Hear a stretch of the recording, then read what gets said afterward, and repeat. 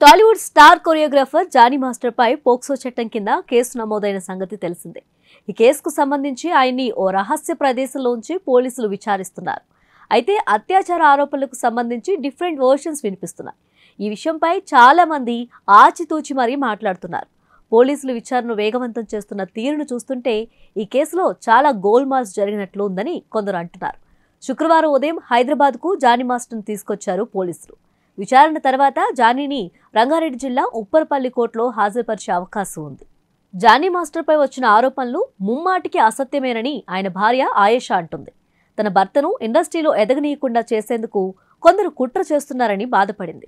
ఆ యువతిపై కొన్నేళ్ళుగా లైంగిక దాడి జరుగుతుంటే ఇన్ని రోజులు ఆమె మౌనంగా ఎందుకుందని ఆయేషా ప్రశ్నిస్తోంది. పదహారేళ్ళకే అత్యాచారం జరిగి ఉంటే అప్పుడు ఎందుకు ప్రశ్నించలేదని అంటుంది. బాధితురాలికి చాలా మందితో సంబంధాలున్నట్లుగా ఆయేష చెబుతుంది. గతంలో జానీ మాస్టర్ కేవలం మాస్టర్గానే ఉన్నారని స్టార్ కొరియోగ్రాఫర్ అయిన తర్వాత ఆయన రాజకీయాల్లోకి వెళ్ళారని ఆయన్ని అణిచివేసే ప్రయత్నంగానే ఇటువంటి కుట్ర చేస్తున్నారని జానీ భార్య ఆయేషా తన ఆవేదనను వ్యక్తం చేసింది. పాలిటిక్స్లో కుట్ర వల్లే ఆయనపై తప్పుడు ప్రచారం చేస్తున్నారని ఫైర్ అయ్యారు. జానీ మాస్టర్ ఏ అమ్మాయిని వేధించలేదని ఫిర్యాదు చేసిన యువతకే చాలా ఎఫైర్లు ఉన్నాయని ఆమె ఆరోపించింది. జానీ మాస్టర్ మెప్పు కోసం ఆమెప్పుడు ప్రయత్నించేదని పదహారేళ్ళ వయసులో అత్యాచారం చేస్తుంటే వాటికి సంబంధించిన ఆధారాలు ఉన్నాయా అంటూ ఆయేష ప్రశ్నించింది. జానీని రాజకీయంగా అనగదొక్కేందుకే ఇలాంటి ప్రయత్నాలు చేస్తున్నారని ఆయేష ఆరోపించింది. మెకానిక్ నుండి డాన్సర్గా ఎదిగిన తర్వాత ఎంతో మంది స్టార్ హీరోలకు కొరియోగ్రాఫర్గా వ్యవహరించి జానీ మంచి పేరు తెచ్చుకున్నారు.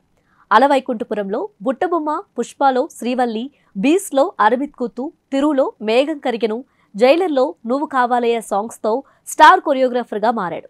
బాలీవుడ్ చిత్రాలకు సైతం పనిచేసి అక్కడ కూడా మంచి క్రేజ్ తెచ్చుకున్నాడు.